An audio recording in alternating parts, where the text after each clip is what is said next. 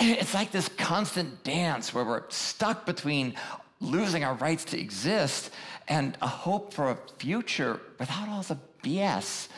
You know we're not dying of AIDS like we once were, but this perpetual hatred doesn't go away.